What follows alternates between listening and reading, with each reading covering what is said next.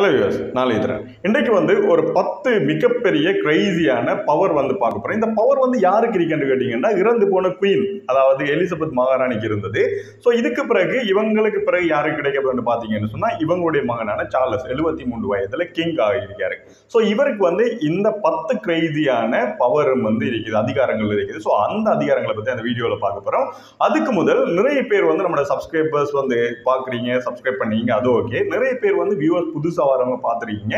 But வந்து நம்மளோட சேனலை வந்து சப்ஸ்கிரைப் பண்ணாமல் பார்த்து கொண்டிருக்கீங்க ஸோ அப்படியானவங்க இருப்பீங்கன்னு சொன்னால் மறக்காம சப்ஸ்கிரைப் பண்ணி வச்சுக்கொள்ளுங்க. ஏனென்று சொன்னால் நீங்கள் கண்டினியூவாக வீடியோ பார்க்கணும் ஒரு ரீசன் அடுத்தது நீங்கள் இப்படியெல்லாம் பண்ணி சப்போர்ட் பண்ணால் தான் நானும் கண்டினியூவாக வீடியோஸ் போடலாம். ஸோ அதனால் மறக்காம நீங்கள் சேனலை வந்து சப்ஸ்கிரைப் பண்ணி வச்சுக்கொள்ளுங்க. அப்படியே அந்த பெல் ஐக்கனை கிளிக் பண்ணி வச்சுக்கொள்ளுங்க. அப்போ தான் டெய்லி நான் போடுற வீடியோஸ் வந்து உங்களுக்கு நோட்டிஃபிகேஷனாக வரும்.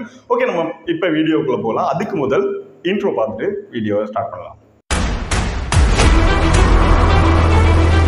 இப்போ நான் சொல்ல போகிற இந்த பத்து கிரேசியான பவரும் வந்து இப்படியெல்லாம் பவர்கள் இருக்குதான்னு உங்களுக்கு டவுட்டை ஏற்படுத்தக்கூடிய ஒரு விஷயம் வரைக்கும் ஓகே நம்ம இப்போ சார்லஸ் வந்து எழுபத்தி மூணு வயதில் கிங் ஆகிருக்கிறார் ஸோ இவருக்கு வந்து என்ன பவர் இருக்குன்னு சொல்லி பார்க்கலாம். இந்த பத்தில் முதலாவது என்னன்னு சொல்லி பார்த்தீங்கன்னா நாம யாருமே வெளிநாடு போகிறோம்னு சொன்னால் கட்டாயமாக பாஸ்போர்ட் தேவைப்படும். நம்மளோட பிரசிடென்ட் இருந்தால் கூட பாஸ்போர்ட் தேவைப்படும். இவருக்கு பார்த்தீங்கன்னா ராஜாங்க கடவுச்சீட்டுன்னு சொல்லி ஒன்று ஸ்பெஷலாக கொடுப்பாங்க. பட் இப்படி கொடுத்தாலும் எப்படியோ பாஸ்போர்ட்ன்றது கட்டாயம். எந்த ஒரு நாட்டினுடைய அதிபராக இருந்தாலும் கட்டாயமாக தேவை.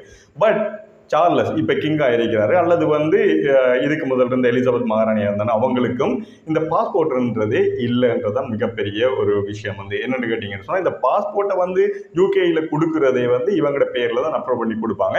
ஸோ அதனால் இவங்களே தங்களுக்கு கொடுக்கலாமா? ஸோ அதனால் இவங்களுக்கு பாஸ்போர்ட் இல்லை. ஸோ எந்த ஒரு நாட்டுக்கு போகிறனாலும் பாஸ்போர்ட் வந்து தேவைப்படாதுன்றது மிகப்பெரிய ஒரு பவர் ஆகி. ரெண்டாவது விஷயம் என்னென்னு சொல்லி கேட்டிங்கன்னு சொன்னால் இந்த பாஸ்போர்ட் எப்படி இல்லையோ அதே போல் லைசன்ஸ்ன்றது எடுக்க மாட்டாங்க. ஸோ எழுபது வருஷமாக டிரைவிங் லைசன்ஸ் இல்லாமல் தான் எலிசபெத் அவங்க வந்து ட்ராவல் பண்ணியிருந்தாங்க வாழ்ந்திருக்காங்கன்றது மிகப்பெரிய ஒரு விஷயம். ஸோ அதே போல் இப்போ கிங் ஆகிற சால் சார்லஸ் அவருக்கு வந்து இந்த பா பாஸ்போர்ட் இல்லை என்ற மாதிரி இந்த லைசன்ஸ் தேவைப்படாது. ஏன்னா இந்த லைசன்ஸை வந்து இவங்களோட பேர்லாம் கொடுக்கப்படுது. ஸோ அதனால தனக்கு தானே கொடுக்கலன்ற ஒரு ரீசனால இந்த லைசன்ஸ் வந்து கிங்குக்கு தெரியாது ஸோ அதனால பாஸ்போர்ட் லைசன்ஸ் இந்த ரெண்டு விஷயம் தெரியாது ஸோ இதெல்லாம் கொடுத்தவங்க அப்படின்னு சொன்னால் நம்ம ஓட்டுற வாகனங்களுக்கு நம்பர் பிளேட் கொடுப்பாங்களா? இதுதான் தேர்ட் வந்து விஷயம் என்னன்னு சொல்லி பார்த்தீங்கன்னா வாகனம் அதாவது இவங்களோட பேரில் இருக்கிற வாகனம் கிங்கு கண்டு ஓடுற வாகனங்களில் வந்து நம்பர் பிளேட் ஏரியா யூகேயில் நீங்கள் பார்த்தீங்கன்னா தெரியும். எந்த ஒரு வாகனமும் நம்பர் பிளேட் இல்லாமல் இருக்குமென்று சொன்னால் அதுக்கு நிச்சயமாக புதுசாக வாங்கின வாகனம் இல்லை. அந்த வாகனம் வந்து கிங்குக்குடைய ஒரு வாகனமாக இருக்கும். ஸோ அது காராக இருந்தாலும் சரி அல்லது பைக்காக இருந்தாலும் சரி எந்த ஒரு வாகனமாக இருந்தாலும் நம்பர் பிளேட் இல்லாமல் நீங்கள் யூகேயில் பார்த்தீங்கன்னு சொன்னால் அது வந்து கிங்குக்குரிய வாகனமாக இருக்கும்.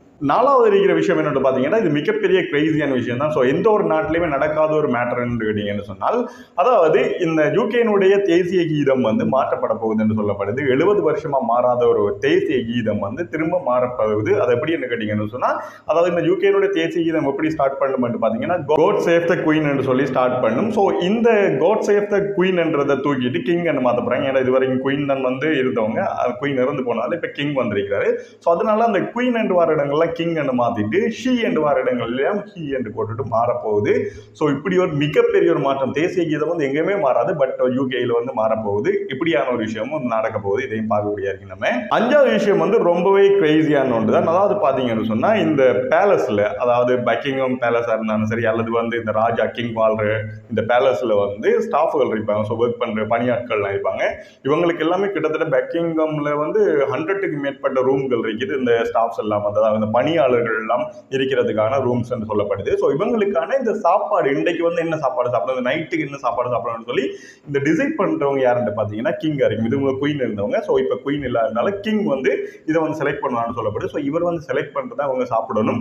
ஸோ இது ஒரு கட்டாயமான ஒரு விஷயமா இருக்குது. இதையும் தாண்டி இன்னொரு முக்கியமான விஷயம் பார்த்தா வந்து ஆறாவது அட்டாச் பண்ணி அதன்னு கேட்டீங்கன்னு சொன்னால் சாப்பிட்ற மெனு தான் வந்து நம்ம டிசைட் பண்ண இல்லாத இங்கே ஒர்க் பண்ணாங்க டிசைட் பண்ணதா கிங் தான் டிசைட் பண்ணுறான்னு பார்த்தீங்கன்னா இந்த சாப்பிட்றதுலேயும் ஒரு முக்கியமான விஷயம் இருக்குது. அதாவது நம்ம வந்து சாப்பிட போனோம்னா நான் தனியாக சாப்பிடுவேன் நீங்கள் தனியாக சாப்பிடுங்க இப்படியே சாப்பிட்டு கொண்டிருக்கோம்.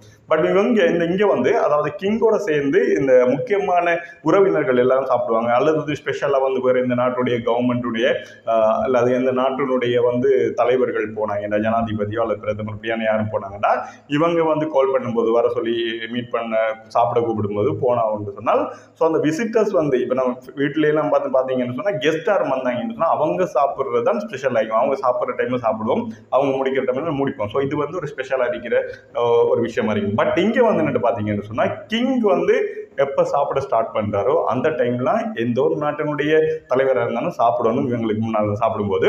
பட் இவர் வந்து என்ன சாப்பிட்டு முடிக்கிறாரோ இப்போ வந்து ரைஸ் சாப்பிட்டு முடிக்கிறாருன்னு சொன்னால் அந்த ரைஸை வந்து அதுக்கப்புறம் நம்ம சாப்பிடல அதோட முடிச்சிடணும். ஸோ அடுத்த என்ன சாப்பிடுவாரோ அந்த ஒரு விஷயத்தை தான் சாப்பாட்டை தான் நம்ம சாப்பிடணும். ஸோ இப்படி வந்து அவர் எப்போ வந்து ஃபினிஷ் பண்ணுறாரோ அந்த டைமில் நம்ம ஃபினிஷ் பண்ணணும். அதுக்கு மேலே சாப்பிடணும்னு தோணுனாலும் சாப்பிட இல்லாது ஸோ இப்படியான ஒரு விஷயம் வந்து இந்த கிங்குக்கு வந்து இருக்குது. ஸோ இந்த கிங்கோட இருந்து சாப்பிடும்போது அவர் என்னென்ன சாப்பிட்றாரோ என்னென்ன டைமில் சாப்பிட்றதோ அந்த டைமில் மட்டும் தான் சாப்பிட முடியும். அது யாராக இருந்தாலும்ன்றது வந்து இங்கே குறிப்பிடத்தக்க ஒரு விஷயம் அறியும். ஏழாவது மேட்டர் என்ன கேட்டீங்கன்னு சொன்னால் அதாவது இந்த ரூபா நோட்டு அதாவது இந்த காசுகளில் வந்து இலங்கையில் மஹிந்த ராஜபக்ஷ அவர் படமெல்லாம் இதுக்கு முதல் வந்திருக்கும். ஸோ அதே போல் ஒவ்வொரு நாட்டிலையும் வந்து அந்த நாட்டில் குறிப்பிடத்தக்க ஒருத்தங்கள முகம் வந்து பதிக்கப்பட்டிருக்கும் அல்லது வந்து உருவம் பதிக்கப்பட்ட நாணயத்தாள்கள் வந்து பார்த்துருக்கோம். ஸோ இது வந்து இப்போ மறுபடியும் மாறப்போகுது அப்படின்னு பார்த்தீங்கன்னா இதுக்கு முதல் வந்து குயின் அதாவது எலிசபெத் அவங்களுடைய ஃபோட்டோ இருந்த அந்த இடத்துல எல்லாம் வந்து இப்போ கிங்கினுடைய ஃபோட்டோ வந்து மாறப்போகுது. ஸோ இது வந்து இந்த ரூபா நோட்டில் அங்கே இருக்கிற நாணயத்தாள்களில் வந்து மாறப்போகிற மிகப்பெரிய ஒரு மாற்றமாக இருக்குது. எட்டாவது வந்து என்னென்னு சொல்லி பார்த்தீங்கன்னு சொன்னால் இந்த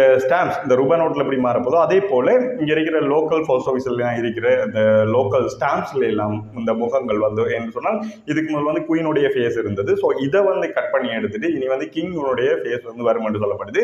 ஸோ இது வந்து எட்டாவதாக மாறப்போகிற ஒரு முக்கியமான ஒரு விஷயமா இருக்குது. இதில் ஒன்பதாவது ஒரு விஷயம் தான் வந்து எனக்கு மிகப்பெரிய ஒரு விஷயமாப்பட்டது என்னன்னு கேட்டிங்கன்னு சொன்னால் இந்த அன்னப்பறவை. ஸோ இந்த யுனைடெட் கிங்டம்ல இருக்கிற இந்த அன்னப்பறவைகள் அதாவது நம்ம பர்சனலாக ஒருத்தர் வளர்க்குறது அல்லது விவசாயத்துக்காக வளர்க்குறது இந்த அன்னப்பறவையை தாண்டி மிச்சமாக இருக்கிற அன்னப்பறவைகள் எல்லாமே வந்து இந்த கிங்குக்கு உரியது. அதாவது இதுக்கு முதல் குயினுக்குரிய சொந்தமானதாக இருந்தது. இப்போ வந்து கிங்குக்கு சொந்தமானதுன்னு சொல்லப்படுது. இது வந்து ஆயிரத்தி இருநூறு வருடங்கள் அதாவது இப்போ நம்ம வாழ்ற வருஷத்துலேருந்து எண்ணூறு வருஷத்துக்கு முதல் வந்து இந்த ஒரு டிசிஷன் வந்து மேக் பண்ணிக்கிறாங்க. இது எதனாலும் தெரியல பட் இங்கே வாழ்கிற அதாவது நம்ம வளர்க்குற இப்போ பர்சனலாக யாராச்சும் இங்கே இருக்கிறவங்க வளர்க்குறவங்க தொழில் செய்கிறதுக்காக வளர்க்குற இந்த அன்னப்பறவையை தாண்டி ஏனைய எக்ஸ்ட்ரா இருக்கிற எல்லா அன்னப்பறவைகளும் வந்து கிங்குக்கு சொந்தமானன்னு சொல்லப்படுது. ஸோ இதை வந்து வேறு யாருமே பிடிச்சி வளர்க்கலாது இதுக்கு வந்து முழு உரிமையுடைய யாருன்னு பார்த்தீங்கன்னு சொன்னால் யுனைடெட் கிங்டம் கிங்டமுடைய கிங்காக இருக்குது ஸோ இது குயினுக்கு இருந்தையும் இப்போ வந்து கிங்குக்கு மாறப்போகுது பத்தாவது விஷயம் என்னென்னு சொல்லி பார்த்தீங்கன்னு சொன்னால் இப்போ எந்த ஒரு நாட்டினுடைய ஜனாதிபதியாக இருந்தாலும் தலைவராக இருந்தாலும் வந்து அவருக்கு வந்து ஓட்டு போடுற உரிமை இருக்கும் ஸோ அவர் வந்து ஜனாதிபதி தேர்தலில் போட்டி போட்டால் கூட அவர் வந்து வாக்கு போடலாம் அதாவது ஓட்டு போடலாம். பட் இங்கே வந்து யுனைடெட் கிங்டம் கிங்டம்னுடைய இந்த ராஜ பரம்பரையில் இருக்கிறவங்க அதாவது இந்த கிங்காக இருந்தாலும் அல்லது இந்த குயினாக இருந்தாலும் யாராக இருந்தாலும் இவங்க வந்து யாருக்கும் ஒருத்தருக்கு வந்து சார்பாக ஓட்டு போட இயலாது. அதாவது ஒரு ரெண்டு கட்சி வந்து வாக்கு கேட்குறாங்கன்னு சொன்னால் எந்த ஒரு கட்சிக்குமே சார்பாக வந்து இவங்க செயல்படையலாம்னு சொல்லப்படுது. இதில் மிகப்பெரிய ட்விஸ்ட்னு கேட்டிங்கன்னு சொன்னால் கிங் வந்து எப்போவுமே வாக்கு செலுத்த முடியாது. ஸோ இவருக்கு வந்து வாக்குரிமையே இல்லைன்னு சொல்லப்படுது.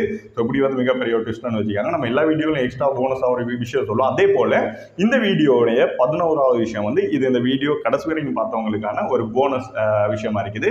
என்னன்னு சொல்லி பார்த்தீங்கன்னு சொன்னால் இந்த கிங் வாழ்ற பேலஸில் அல்லது வந்து இந்த குயின் வாழ்ந்த பேலஸில் எக்ஸாம்பிளுக்கு பக்கிங்கம் எடுத்துக்கொண்டாலும் சரி இந்த பேலஸில் வாழ்கிற இந்த தேன் கூடுகள் தேன் பூச்சிகளுக்கு இருக்கிற தேன் கூடுகள் எல்லாம் பராமரிக்கிறதுக்கு ஒருத்தர் இருப்பார். ஸோ இப்படி இப்படியான ஒருத்தர்கிட்ட இப்போ நியூஸ் போயிருக்கணும்னு சொல்லி கேட்டிங்கன்னா அதாவது குயின் வந்து இறந்துட்டாங்க அரசி வந்து இறந்துட்டாங்க. ஸோ அந்த துக்கத்தை வந்து இந்த தேனிகளுக்கும் வெளிப்படுத்தணும். ஸோ அவங்களுக்கும் சொல்லணும். அது விலங்குதா இல்லையான்னு தெரியல. பட் வந்து சொல்லப்படணுன்றதுக்காக என்ன சொல்லியிருக்காங்கன்னா இந்த தேனீகளை பராமரிக்கிற அவர் வந்து அவருக்கு இன்ஃபார்ம் பண்ணிக்காங்க அவர் வந்து இப்போ என்னென்னா கருப்பு ரிப்பன் எடுத்து எல்லா தேன் கூடுகளும் தேனீகள் இருக்கிற தேன் கூடுகள்லாம் சுற்றி வந்து கட்டியிருக்கிறாரு.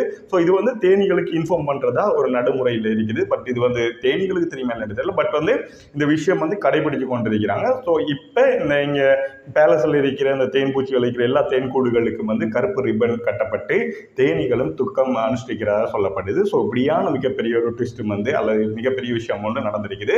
ஸோ இப்படி பதினோரு முக்கியமான பவர்னு சொல்லலாம் அல்லது விஷயங்கள் சொல்லலாம் அல்லது இப்படியான மாற்றங்கள் வந்து இப்போ கிங்குக்கு வந்து கொடுக்கப்பட்டிருக்குது. ஸோ இப்படி வந்து பதினோரு கிரேசியான விஷயங்கள் சொல்லியிருக்கேன். இதில் வந்து உங்களுக்கு எது ரொம்பவே கிரேசியான விஷயமா பட்டதுன்றது வந்து கமெண்ட்ல லீட் பண்ணுங்க.